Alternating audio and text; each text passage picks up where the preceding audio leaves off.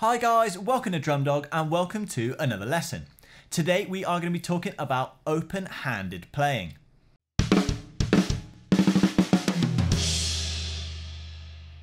Now for those of you who don't know, open-handed playing is simply the opposite to this regular crossover when we're playing our right hand on the hi-hat and our left hand on the snare. Now the term comes from where we're opening those hands up to play the left hand on the hi-hat and the right hand on the snare.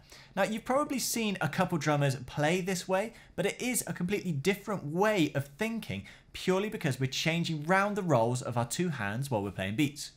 Now, whether you have intentions to switch to open-handed playing for all of your playing or just to study it for a little bit, there are massive benefits for everyone to learn playing this way, even if you intend to carry on playing with a normal crossover.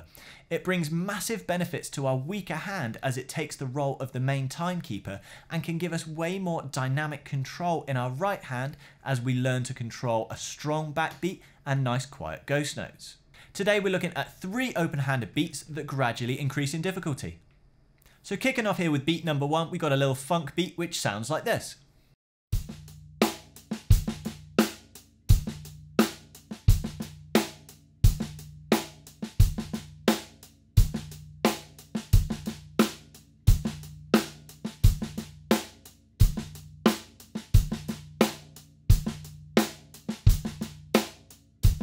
To warm things up here, for this beat, our left hand is just playing happy eighth notes up on that hi-hat there. Now, even though it's just eighth notes, this is going to feel really alien if you've never played open-handed before. So it's worth taking the time just to get used to this left hand playing those eighth notes and make sure it's not getting too tense and gripping that stick too tight.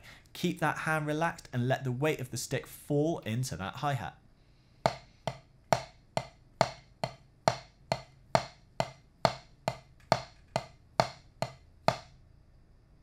Now, where this beat gets a little bit more challenging is where we're adding in the ghost notes in our now right hand. We've got a couple little 16th offbeats, which are happy enough. But then on the E and of three, we've got two little ghost notes in a row. The first one on its own on an offbeat, and the second one falling on top of that hi-hat. So let's take a second just to play that hat and snare pattern together. Make sure that the offbeats on the snare are falling dead in between the hats, and the notes in unison are falling dead on top. Let's get those hands working together.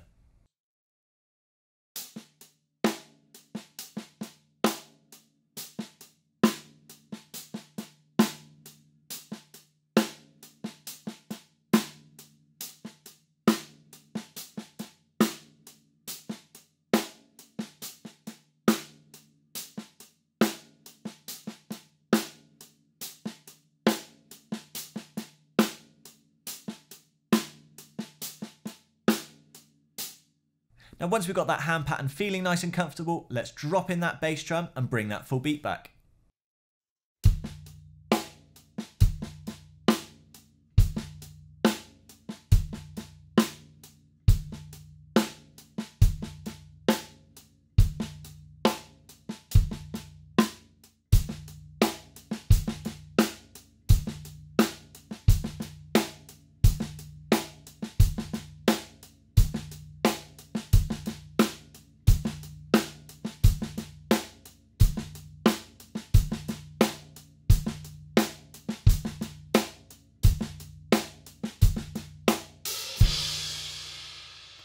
Now for our second beat here, we're going to be stepping away from a regular pattern in that left hand as we look at a variation on the Latin beat Naningo.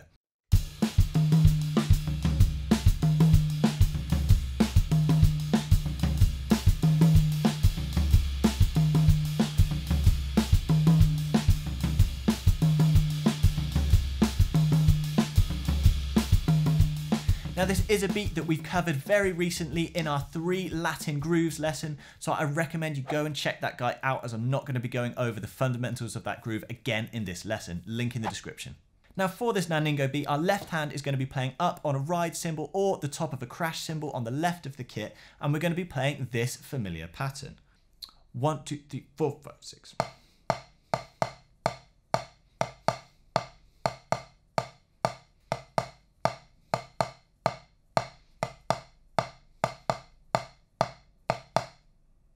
Let's take a second to familiarize on that cymbal pattern with the bass drum holding down the pulse.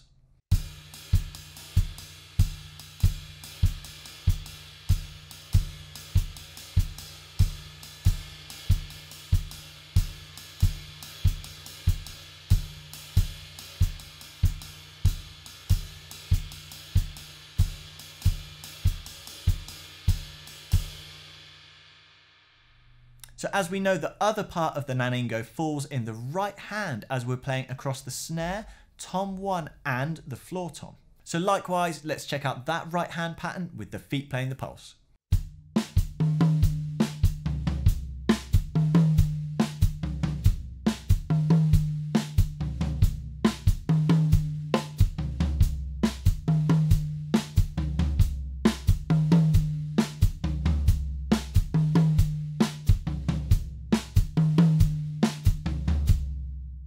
Now where this Naningo really brings in its most challenging part is where we bring these two hand patterns together. So let's take out the feet for a moment and just focus on these patterns working together and like with the first beat, make sure where they're playing in unison, they fall dead on top of each other, but where they're playing around each other, make sure those notes are sitting dead in the middle and we're not getting any flamming or the notes bunching up to one way or the other.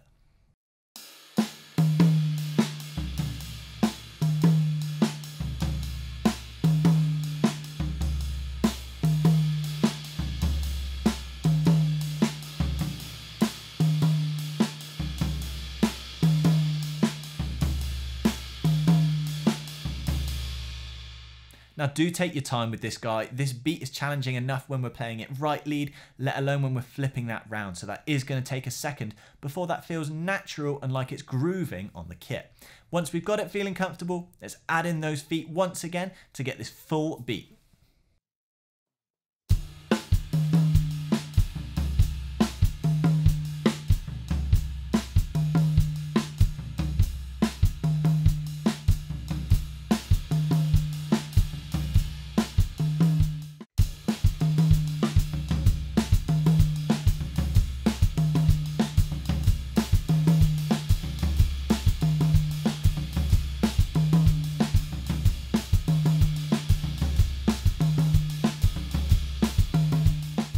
Now for our third and final beat for this lesson, we're going to be coming back to a 4-4 funk territory, but this time we're ramping up the difficulty by playing a broken 16th hat pattern with our left hand.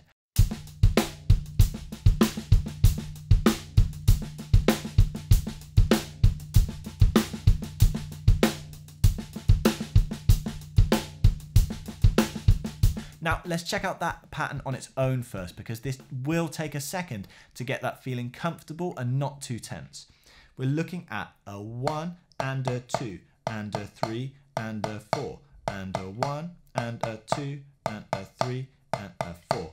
Now to bring this pattern up to speed, we really want to be involving the wrist here. We don't want to be playing that entire pattern just from the elbow because that's going to generate a lot of work. We've really got to loosen up that wrist and then only drop the arm in for that last hit there.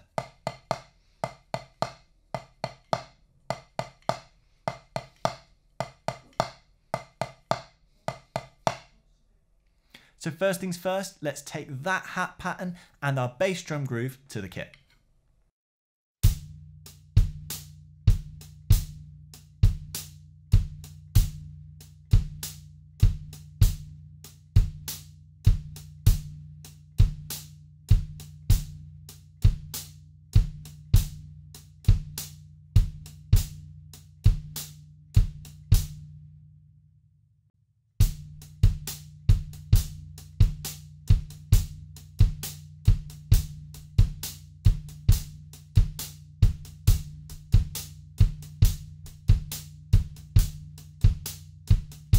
Now, once we've got that down and relaxed, our next challenge with this beat comes to our ghost note pattern in the right hand. Now, this time we've got a couple double ghost notes with one coming straight after our backbeat. Now this ghost note pattern does tie itself in really nicely with our broken 16th hat pattern, so we are going to have to focus on learning these two together, and as with the other one, make sure our two hands are working together, playing in unison when they need to, and working around each other smoothly when they should be.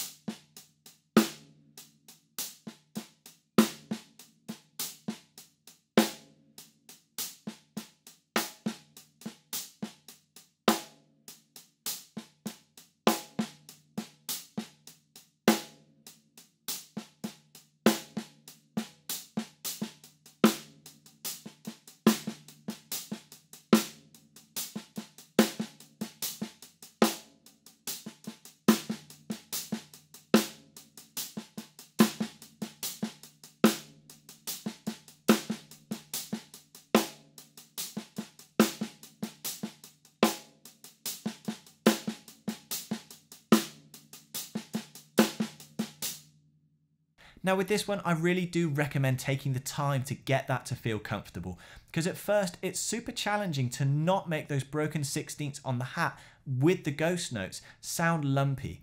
We want the whole thing to sound like a constant smooth stream of sixteenths. One E, a two E, a three E, four E, but even though each pattern is broken, that stream of sixteenths we create should still sound as smooth as that. Once it's sounding smooth, the only thing left to add is our bass drum pattern again.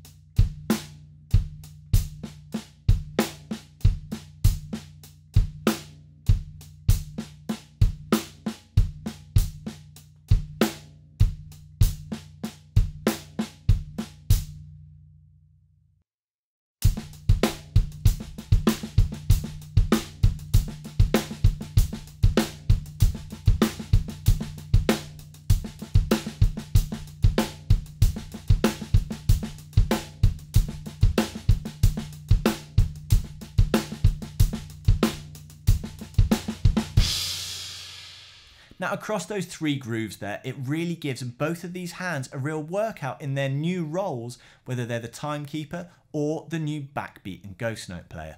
But the true way to tell if we've got these beats down and got them feeling as comfortable as our regular cross-handed playing is to put them head to head with their cross-handed versions.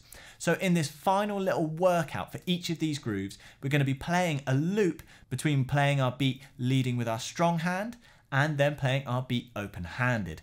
You want to make this transition as smooth as possible and we want to jump straight from one beat into the other one without finding a hiccup.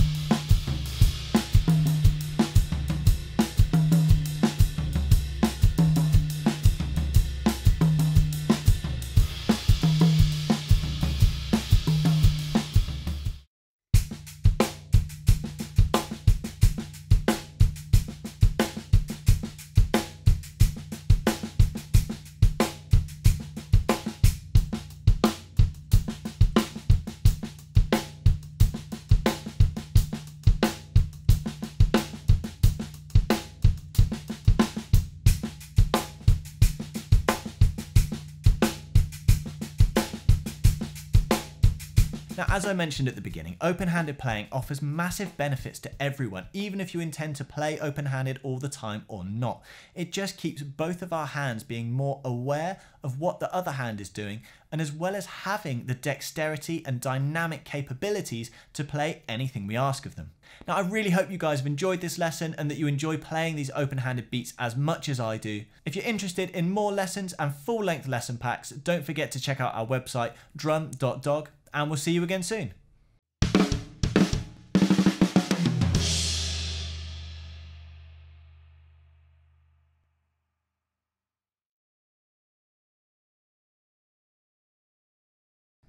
So kicking off here with beat number one, we got a little funk beat which sounds like this. yeah, if Donald Duck played the drums, that would be what it was.